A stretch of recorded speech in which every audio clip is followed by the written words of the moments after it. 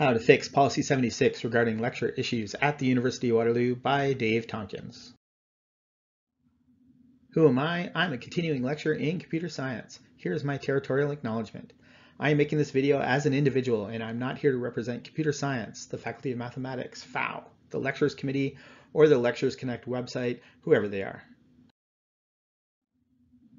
My target audience includes all regular faculty, the deans, the chairs, which I'll represent as James Dean in a chair, the provost and the rest of the senior administration, and I'm specifically targeting the FRC, the Faculty Relations Committee, which sounds like it's a group of faculty members having sexy time, but that is not what the committee is about, or at least not to my knowledge.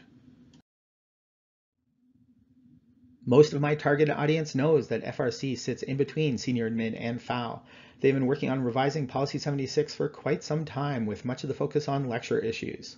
Recently, FAO announced that things have stalled and that the FRC may need to resort to mediation or an even scarier word, arbitration. Purely as an exercise, I thought about what solution I would come up with if I was the arbitrator, and I created this video to explain it.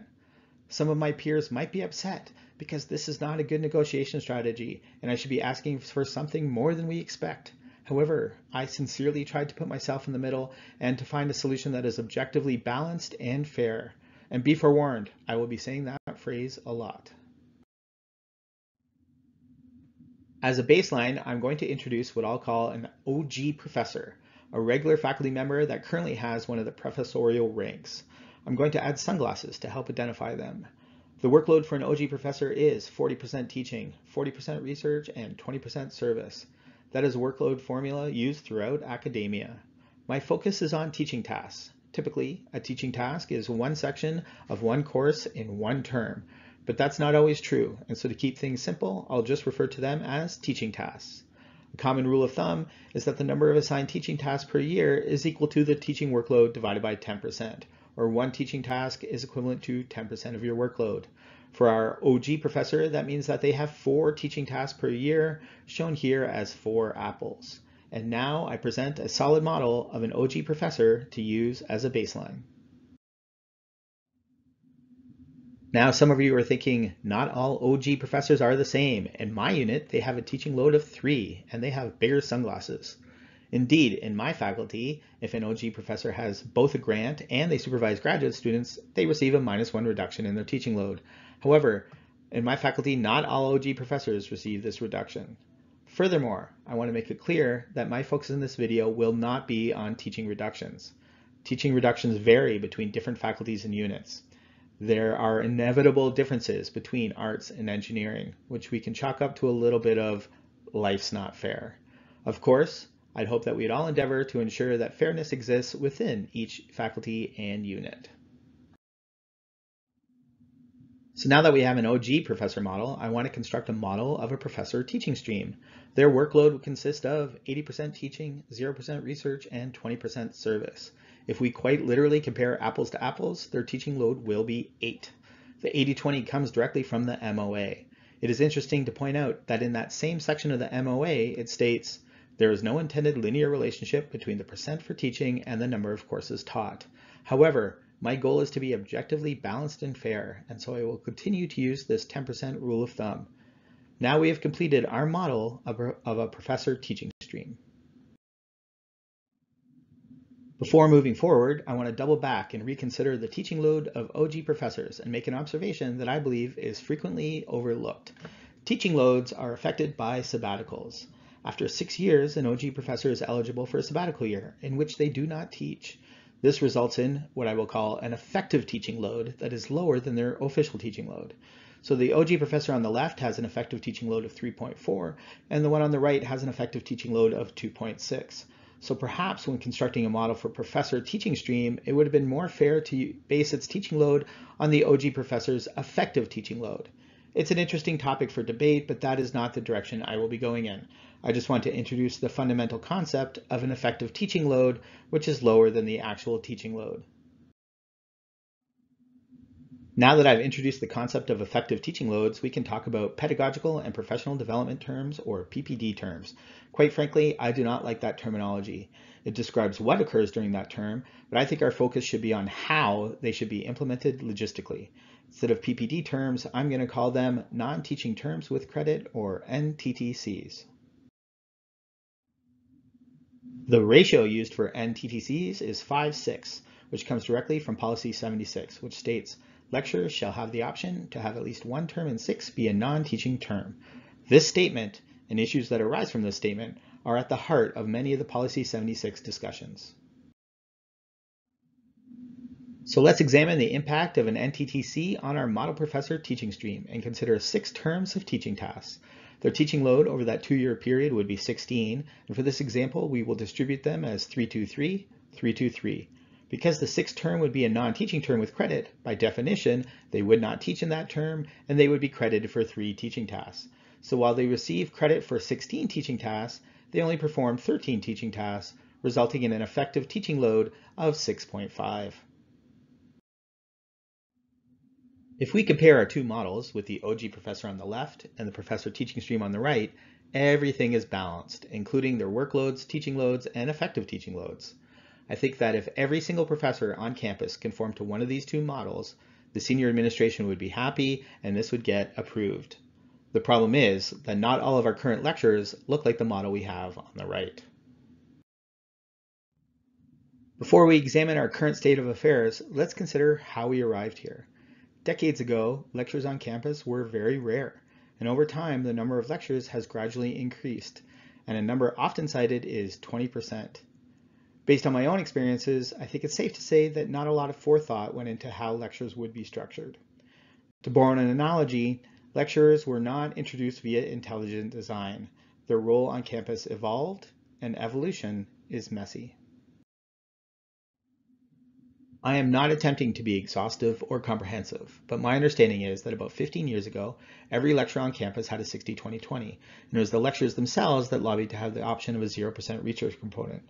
The two natural evolutions were the 80-20 with a teaching load of 8 and the 60-40 with a larger service component and a teaching load of 6. At this point, everything is still balanced and fair with respect to OG professors. Then things started to get a little bit messier. The 10% rule of thumb was being ignored, and 80-20 positions were created with a teaching load of 6. I've added a broken line around that position to indicate that it is a little bit broken. I'm not saying the position in isolation is broken, but when we objectively compare it to one of the other positions, it is no longer balanced. For those less comfortable with breaking the 10% rule of thumb, there were 60-40 positions created, but without a substantial service component. I know because that was the position I was hired into. Then 60-40 positions were created that did have a substantial service component, but compared to other broken positions on campus, they were deemed unfair. So those positions were given a course reduction to reduce their teaching load. I suspect that there are many broken positions on campus that have been created over the years. And again, I'd like to emphasize that I'm only calling them broken for convenience and that they're only broken in the sense that they are out of balance with other positions or OG professors. My understanding is that many unit heads and deans are frustrated with these broken positions that they have inherited from their predecessors. I believe these broken positions are why Policy 76 discussions stalled. When they went to introduce the PPDs, they realized that it was going to introduce even more broken positions that were, quite frankly, unfair and infeasible. So how do we fix this? My solution is to just bulldoze all of these positions and start over with a clean slate. I can almost hear you scream. We have contracts and agreements. We can't throw all that away. I think we have a once in a lifetime opportunity here. With the introduction of the professor teaching stream positions, everyone will be signing new contracts, and we can create positions that are objectively balanced and fair for everyone. I acknowledge that it took a while to get to this point, but I will now present my solution, which is straightforward. We will only have three core types of professor teaching streams. We will have the default or vanilla professor teaching stream with an 80-20. We would have a 60-40 with an intensive service component and a 60-20-20 with a research component. And, wait for it, every single position would have a non-teaching term with credit. This solution works because all the positions are objectively balanced and fair with respect to each other and with respect to OG professors. Nobody is excluded, and every regular faculty member will have an effective teaching load that is slightly less than their actual teaching load, with approximately the same ratios. Let's take a closer look at our vanilla or default professor teaching stream with an 80-20 and a teaching load of 7.5. Our original model had a teaching load of 8, which is consistent with an 80% workload. The problem with a teaching load of 8 is the effective teaching load was 6.5, which means that over two years they'd have 13 teaching tasks. Fortunately, there has been great progress at FRC to cap the effective teaching load to be 6, or 12 courses over two years. And so to reach that target load of 6, we need to reduce the actual teaching load to 7.5. I will concede that this is a tiny bit broken, but not egregiously so, and it is a level of brokenness that we can live with. Let's consider an example teaching load over six terms. For this example, they have a load of 322 in the first year and then 32 in the second year, followed by a non-teaching term with a credit of 3. The arithmetic all works out, an actual load of 7.5 and an effective load of 6. The second core type of professor teaching stream would be the service-intensive position. With a teaching load of 6, the example is straightforward. 5 terms with a load of 2, and then a credit for 2 for the sixth term. And the final core type of professor teaching stream has a workload of 60-20-20, a retro throwback to the original lecture position with a research component. Now, I have endeavored to remain objective throughout this presentation, but I will step on a personal soapbox just for a moment. I do not think that this role will be popular, but it should be available to professors' teaching stream if they desire it. Having said that, I fear that the individuals who desire this role are exactly the people who should not be taking it on. I have seen some lecturers that are quite unhappy that they are not OG professors. Some are attempting to flip their current position into an OG professorship at another university, or they're trying to hack their lecturer role to look like an OG professor. Please stop. When you adopt this attitude, it continues to perpetuate the stigma that lecturers are second-class citizens, and that we're in this rank as some kind of consolation prize. The vast majority of us are in our dream jobs and very happy to be lecturers. So who would be the right kind of person to take on this role? Obviously, anyone who wants to research pedagogy. Another good candidate would be someone whose research would have a significant impact on their teaching. Having said that, I do not think this rule should be restrictive, and anyone with a brilliant idea that they'd like to explore for a few years should have that opportunity. I know this particular role is a bit controversial at FRC, and that it becomes complicated with respect to graduate supervision and grants. However, if I wear my imaginary arbitrator hat, my objective solution would that the rule would be available, but would require a research proposal that would need to be approved by the unit head or dean. This would ensure that expectations would be clear on both sides and ensure some quality control. Finally, to those people who do take on this role, please be aware that your research score on your annual, annual performance report is likely to be very poor. You are going to be compared against rockstar professors in your faculty, so make sure you enter this role with your eyes wide open. I suspect that 80% of existing lectures could easily be mapped onto one of these three roles. Now I know there are lectures with both a heavy service component and a research component, and my advice for them would be to pick a lane. The primary responsibility of any professor teaching stream should be teaching, and that component should not be diluted too much.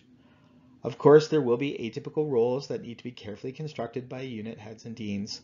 I would encourage them to keep things balanced and to not indulge with too much individual negotiation because that may lead to more problems down the road. Furthermore, as with OG professors, there will be inevitable differences between the faculties. Arts and engineering may implement things very differently, which can be again chalked up to life isn't fair.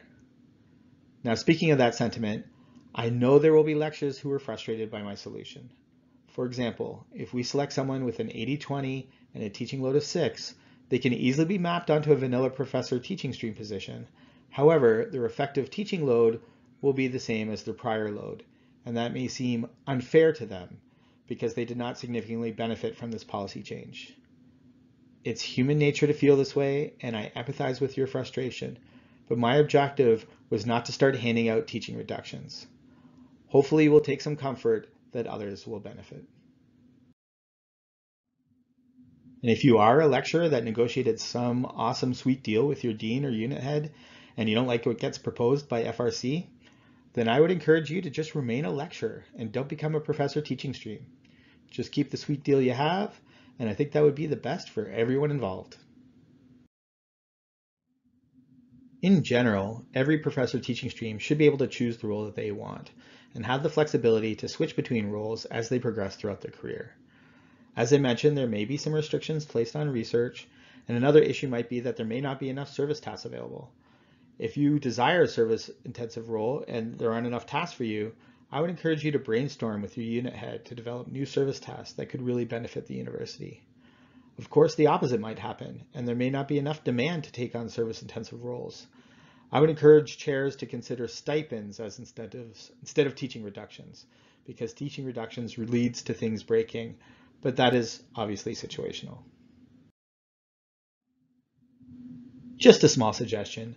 I don't know why there's a tradition at Waterloo to put all of the workload details in the contract.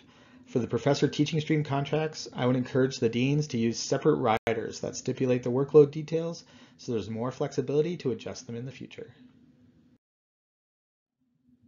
Over the next few slides, I will get into some of the nitty gritty on how I would codify and policy the non-teaching terms with credit.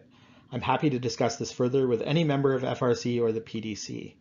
To calculate credit granted for an NTTC, simply divide the annual teaching load by three and round up. Use language similar to what is used for sabbaticals. For example, after five terms of service credit, a professor teaching stream is eligible for a non-teaching term with credit. Now, I don't love the service credit terminology, but it is used in the sabbatical section. And how the teaching load is distributed must not affect eligibility for NTTCs. For this example, I've chosen a 60-40 to make the arithmetic easier, but all these distributions should be acceptable, including having a non-teaching term without credit back-to-back -back with a non-teaching term with credit. I do want to take a moment and scold the person who wrote the language used in the December 2021 announcement. Using the number of terms of assigned teaching instead of the teaching load in policy is extremely broken, and I could probably go on a 10 minute rant about this alone. Please do not use this type of language. I am happy to volunteer to proofread for you. Do not force NTTCs to occur on the sixth term. Service credit must be able to be accumulated so that they can be used for an NTTC when it makes sense, both for the professor teaching stream and for the unit. If you pause this slide, it should be clear how I propose it should work. Also, read the little warning. If everyone starts accumulating service credit when this policy goes into effect, it may result in everyone wanting to take their NTTCs at the same time.